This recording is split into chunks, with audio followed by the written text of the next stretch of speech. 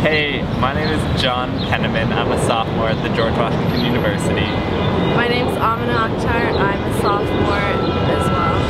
Uh, we just wanted to talk about our experience with the Transitional Housing Corporation. Um, both of us got started um, with the organization as part of a service learning component for our class on wealth, poverty, and inequality. Uh, after the class ended, we just found ourselves coming back to volunteer again and again.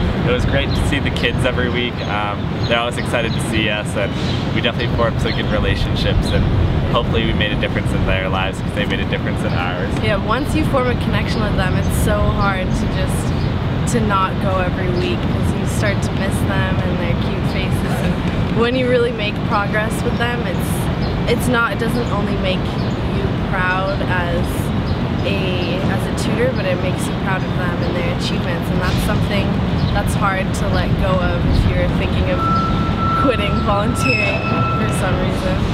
Um, my service um, with Transitional Housing Corporation definitely opened up a lot of doors for me um, to do other service in different areas. Um, right now I am taking another service at the university and working with high schoolers, um, tutoring them in Spanish. And I also went on an alternative breaks trip to New York um, this past spring to work with LGBT homeless children in New York.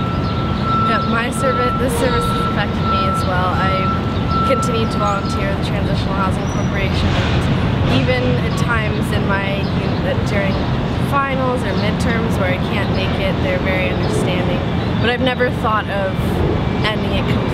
It's always in my mind. If I don't have time now, well, when can I make time to go back and help these children? Yeah, so we just want to share that with you. Um, it's definitely been a great experience for us. Um, hopefully you all can get involved in some service as well. So thank you. Thank you.